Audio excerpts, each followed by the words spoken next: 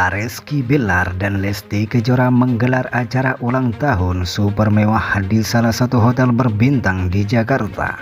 Tak main-main, acara ulang tahun tersebut juga dihadiri langsung oleh sederet penyanyi dan artis top tanah air seperti Afgan, Titi Kamal, Vildan, Zidan, Ustadz Kasif Hir, Reza The Academy, jebolan terbaik ajang dangdut Indosiar, Haris, Adi Seki, Rudi Salim, keluarga besar Juragan 99, dan beberapa selebritis top lainnya.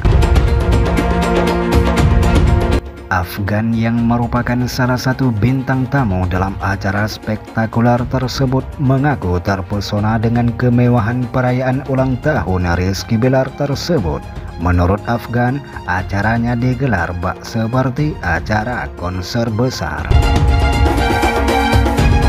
Tak hanya Afgan, beberapa artis dan pengusaha lainnya juga ikut terpukau dengan kemegerlapan kemewahan acara ulang tahun suami Lesti Kejora itu, yakni Rizky Billar, seperti Rudi Salim dan Haris. Bahkan salah satu dari tamu undangan sempat mengatakan Sultan Maha Bebas karena saking mewah dan meriahnya acara tersebut.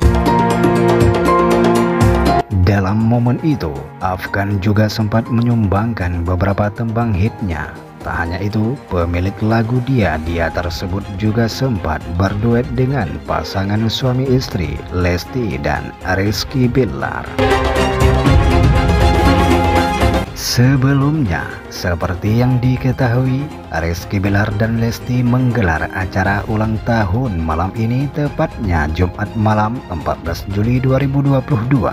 Meskipun digelar sedikit telat, namun pasangan yang dikenal dengan nama Leslar itu tetap menggelarnya dengan meriah dan mewah.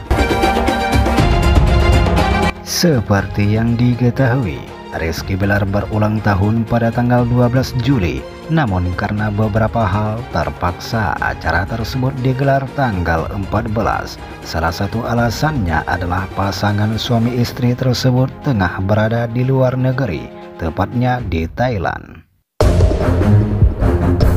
Begitulah informasinya. Jangan lupa untuk terus mendukung channel ini dengan cara subscribe, like, share, and comment.